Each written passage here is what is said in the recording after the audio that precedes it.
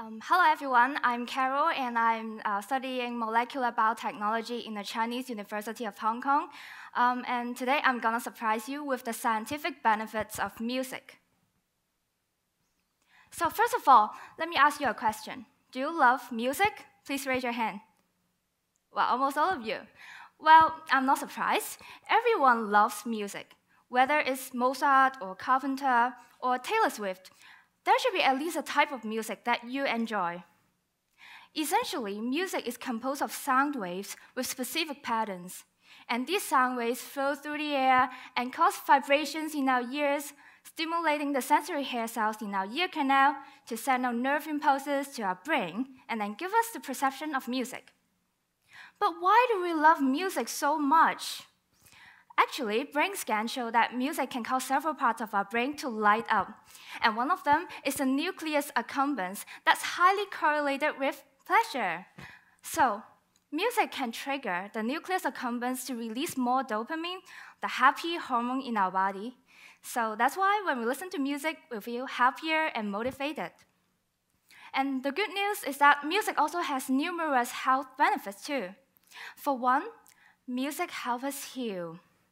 Music also stimulates the medulla of our brain that controls our autonomous nervous system that regulates our heart rate and breathing.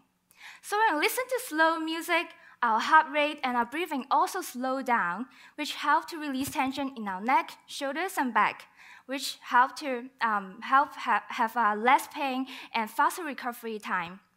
And on top of that, music also stimulates the motor system of our brain that gets us moving and therefore improves movement. In fact, adding music to a standard rehab increases the rate of healing in patients with um, brain disorders like Alzheimer's and Parkinson's disease. Second, music also helps us learn better. Music also stimulates the hippocampus of our brain that's highly correlated with learning and memory. Actually, people with more musical training and experience have better performance in numeracy and literacy skills, as well as spatial and visual memory. And speaking of memory, I become profusely thankful to my mom who forced me to take piano lessons when I was a kid, and now I'm having great memories for cramming the night before test. Well, just kidding. So next time, when you crank up the music for a dance party, a long run, or a study session, do remember all the health benefits of music. Music can stimulate the hippocampus, the nucleus accumbens, the medulla, and the motor system of our brain, and has been proven to help us feel good, help our bodies heal, and improve our memory, and many more. Music is amazingly good for you. Thank you.